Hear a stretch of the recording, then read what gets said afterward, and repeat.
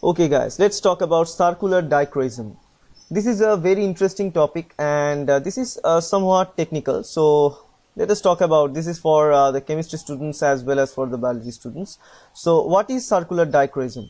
Circular dichroism is, uh, is a type of spectroscopy process uh, to understand the structure of macromolecules and also charged particles and how the charging discharging occurs actually it is nowadays vigorously used in in, in understanding the structure of uh, proteins understanding the structure of secondary structure tertiary structure of proteins. It is extremely helpful to understand the secondary structural motifs of the proteins as well as it is important for understanding uh, nucleic acid structure lipid majorly proteins and nucleic acid structure.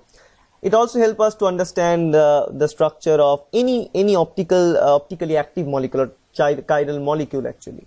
So what is circular dichroism?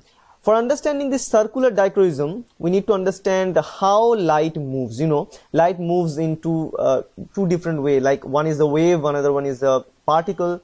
The wave movement or the wave motion of the light, if we look at here, the vector, right? Uh, when it moves, like the normal, in case of the normal polarized light, that is called the linearly polarized light, it occurs when the electric field vectors oscillates only in one plane. For example, you know, it, it only oscillates in one plane.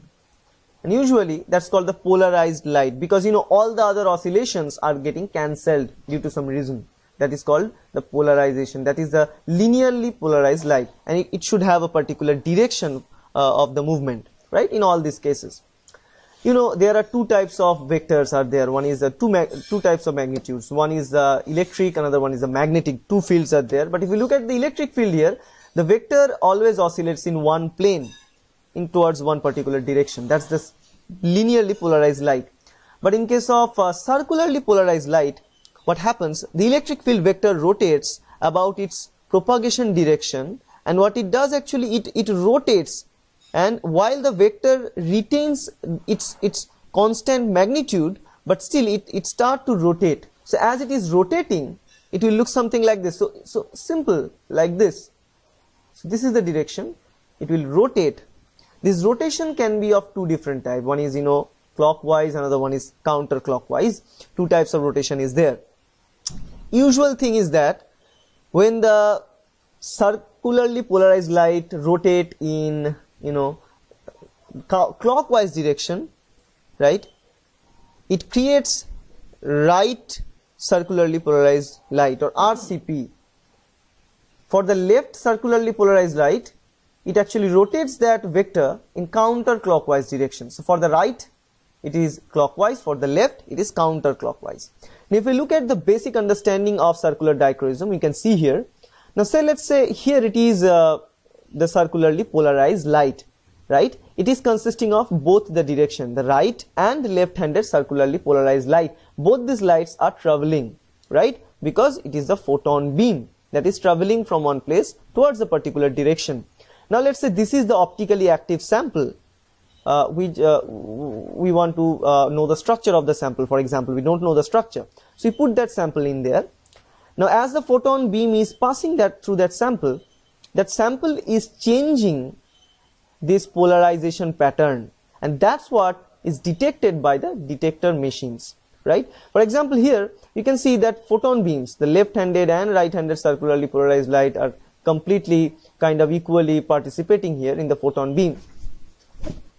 But now once it is passing through the optically active molecule then in that case we have seen that the left-handed circularly polarized light that is the the, the right-handed circularly polarized light that is the red one. Because you know for the right it is rotating clockwise. As you can see red one is rotating the clockwise so it is the right-handed and green one is the left-handed so you can see here the right-handed light is now very very short. The left-handed polarized light is very very long now. That means that means what what does that mean? It means the preferential absorption of the right-handed polarization.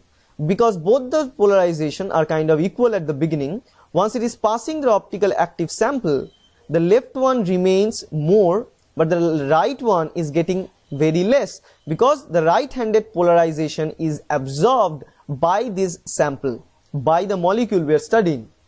And looking at this type of pattern we can actually draw a graph. Not we actually detector produces it and uh, it, it, it is feeding onto the monitor the computer screen and finally we see certain graphs. And by looking at those graphs we can tell what kind of molecules we are dealing with what is the structure of that molecule.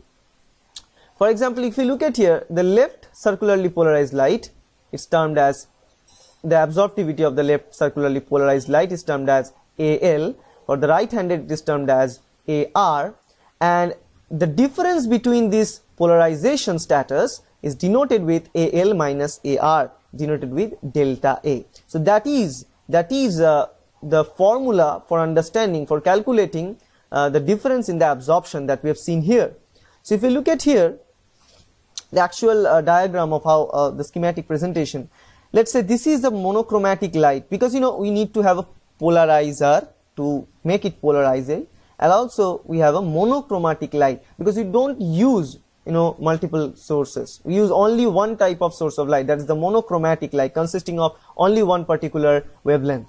So if we look at here that monochromatic light passes and passes through you know it is consisting of both of these things you know left-handed and right-handed circularly polarized light. But once it is passing through this optically active sample and then it is detected by the PMT detector.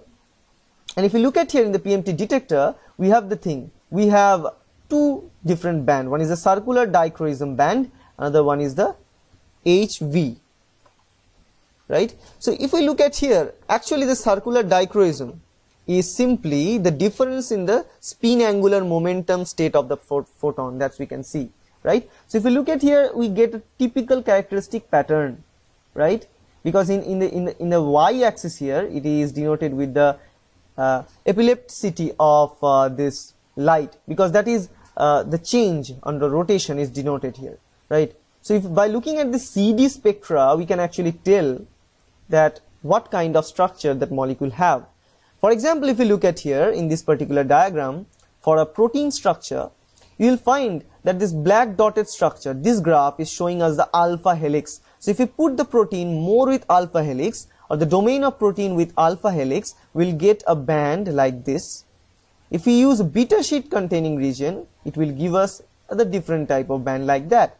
For the random coil, we get another type of band as you can see in the green color, right? So you can see the unique feature of rotating the circularly polarized light or absorbing the circularly polarized light over the other one, left or right, whatever, will give us the idea of the structure. And that's what the basic of circular dichroism.